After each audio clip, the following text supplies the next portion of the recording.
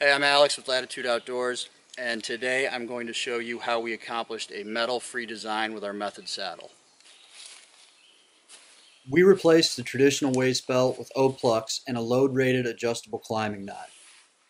The result is reduced weight, deadly silence, and an unexpected improvement in comfort while hiking.